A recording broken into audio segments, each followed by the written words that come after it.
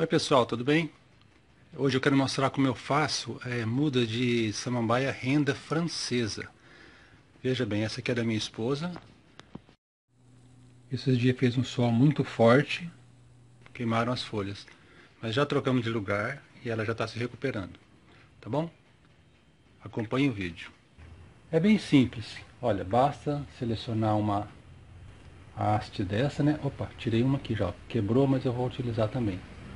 Uma haste assim, olha cortar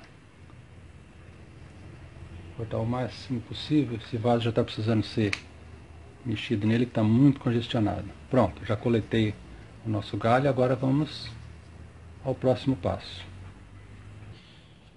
Eu já preparei a minha terra, que eu uso 50% de terra comum e 50% de terra vegetal, bem misturadinha. Já fiz também aqui dois vasos, e é bem simples, veja aí. Eu tenho que conferir, dar uma conferida sempre se ela está, realmente ela está verde, se ela está viva, porque em alguns casos ela pode estar tá seca. Então, aparentemente está boa, mas na verdade não está. Ó, costumo cortar assim, uns 10 centímetros, fazer um furinho. É muito simples, olha, pronto, já está feito. Tá?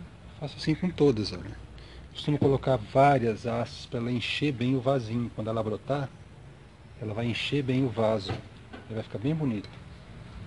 Olha, aqui também, um outro detalhe. É, pode acontecer da ponta estar tá seca. Né? Aí é só ir cortando até achar o ponto verde e num tamanho mais ou menos padrão pro vasinho, né?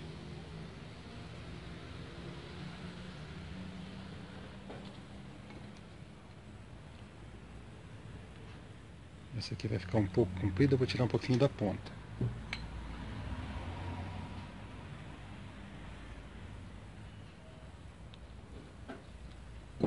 Cuidado com a rega também, tá? Não pode regar muito.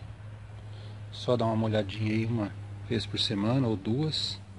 Dependendo, né? Se tiver época de chuvas muito úmido, aí não tem necessidade de molhar.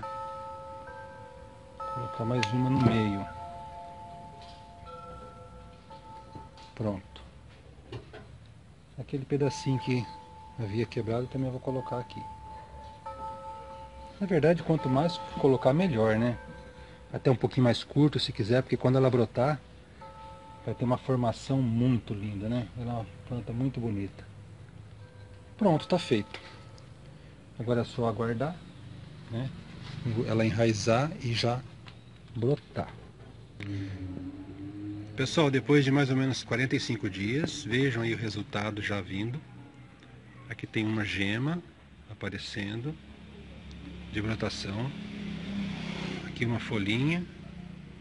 Olha aí, aqui uma folha já se formando. Aqui várias. Aqui também. Olha, nesse outro vasinho já saiu uma folha ali. Também tem uma gema bem discreta aqui. É isso aí. Espero que vocês tenham gostado do vídeo. Quem não for inscrito, se inscreva. Deixe aquele like e até a próxima.